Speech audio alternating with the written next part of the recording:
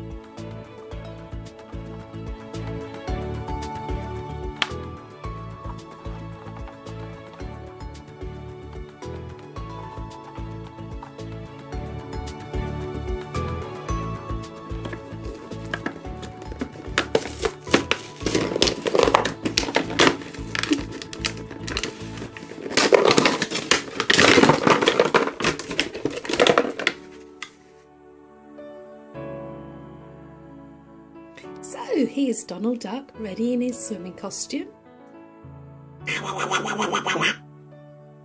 He's being captain of the boat. And at the front we can put the net. Ahoy there, matey! And as we move the boat, the net moves as well. How cool is that? Or we can put Donald's rocking chair at the front. We need Donald though. And here he comes now. The waters are very choppy. He's rocking all over the place. What will he catch though? He's caught something. What can it be? It's Mickey Mouse's pants. Ahoy there, matey! He's caught something else. It's an old boot. And lastly, he's caught what he wanted to catch. He's caught a fish. Donald's had a superb day catching all sorts of things out at sea. And Donald wants to show you his chute out of the back of the boat. How cool is that?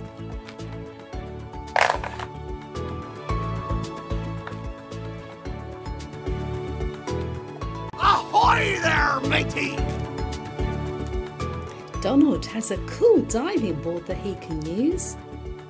And he has an awesome dinghy. Be sure to like this video then guys. Boxes will appear. Tap on any of those boxes to continue the fun.